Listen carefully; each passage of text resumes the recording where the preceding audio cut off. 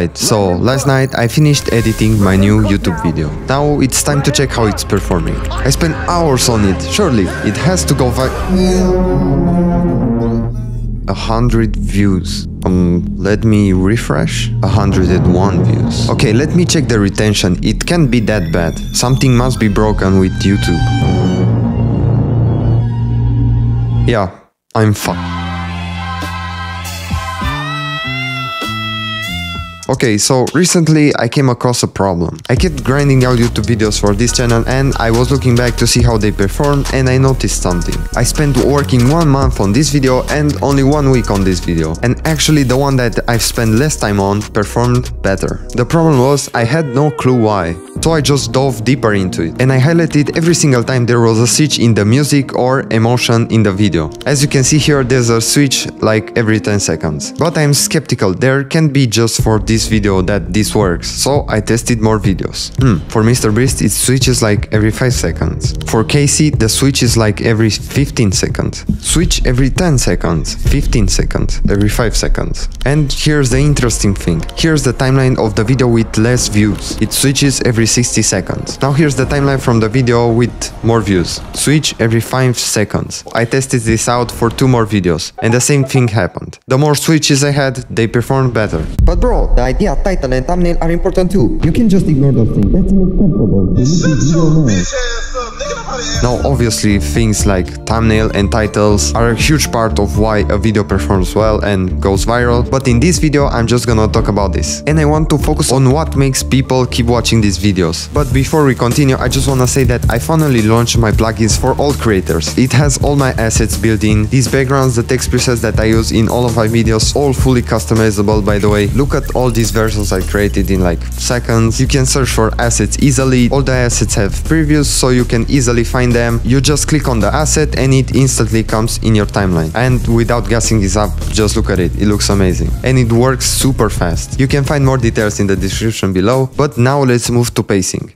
And what the heck even is pacing? When you constantly switch up the tone of the video, it's like rehooking the viewer by making it so it feels like they're watching another video. For example, when you're watching shorts, the reason they are so addictive is like every time you scroll, you get a new feeling, a new emotion. So that's how the doom scroll actually happens. You get hit with new emotions, new informations all the time. A minute you're watching something funnier, the next you're watching something educational and interesting. But this is not as easy as it seems, because when done wrong, it can easily feel like you're trying way too hard, and that will just kill your video. So this entire process needs to start by you knowing your audience. So for example, if you have an older audience, you need to understand what they are watching all the time and what their attention span is. That's why for Mr. Beast, quick cuts and fast pacing is what works for him, because his audience is mainly on the much younger side, so they are probably used to TikTok, so they need new information all the time. This also depends on what type of creator you want to be. If you want to do podcast-like content, obviously you're not going to add cuts like every 2 seconds. Similarly, if you want to be entertaining, you're not gonna leave 30 second pauses thinking in the video. Yeah, I'm not gonna do that, don't worry. And always keep in mind, as an editor, you don't want to force the viewer to watch your video. I'm not trying to trick you into watching this video. I'm just trying to make it more entertaining so learning about editing is easier. So while for me making fast-paced edits work, for you it might be completely different. If it's boring as shit, you might probably need to consider turning up your pacing. And if your edit has so many effects to the point where it's exhausting, then you probably need to turn it down. So after you've pinned down who your videos are for and you know roughly how fast paced they should be, here's how to make your energy feel slower or faster. Let's just pretend this is my video and I want to switch the rhythm here and here. These are the songs that I have.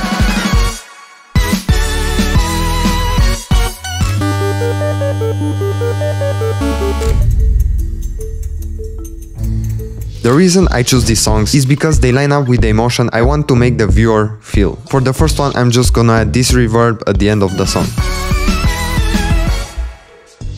How I did it is basically I just nested the end part, duplicated it, and on one of the first layers I added the reverb so it sounds like this. Then let me add this riser here and an impact here to add more, well, impact to the song.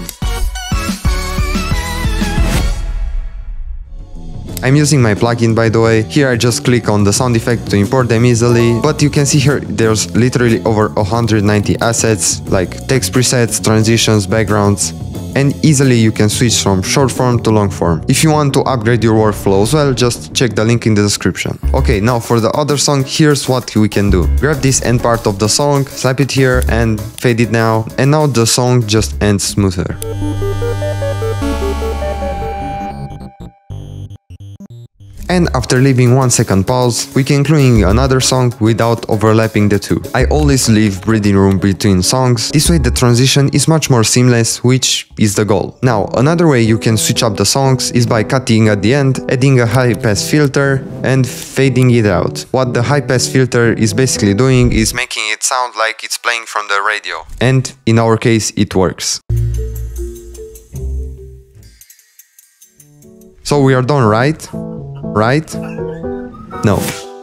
Because adding music is not enough. You also need to do some work on the visual aspect of the video. As if you are doing a music video and you need to time stuff on the beat. Well, not really, but here's an example. But editing can be one of the most powerful tools you have to make people feel something. If you had a slow song for this part, but your visuals are going crazy, something feels off. The music and the visuals need to work together, so pay attention to this when choosing your songs and making your visuals. But editing can be one of the most powerful tools you have to make people feel something, to make them see the world differently. For example, let's take this intro from this video. Alright, so last night I finished editing my new YouTube video. Now it's time to check how it's performing. I spent hours on it, surely it has to go Let's say we want to make this part to have higher pacing. You can technically add this fast song and call it finished, but it won't really work. It's performing. I spent hours on it, surely it has to go back. You need to adjust the visuals as well, add more elements. Alright, so last night I finished editing my new YouTube video. Now it's time to check how it's performing.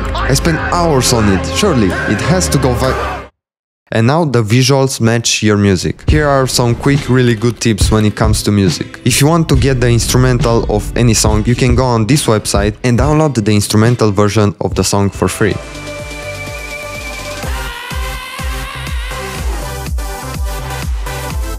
Or you can do this.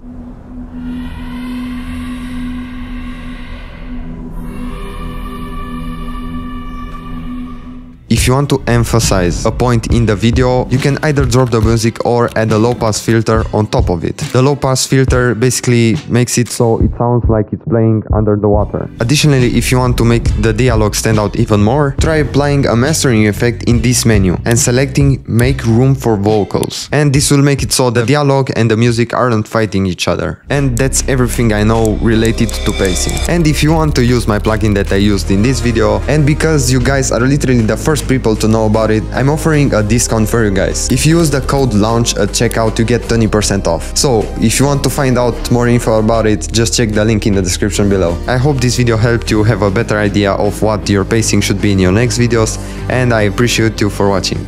Peace out and see you on the next one.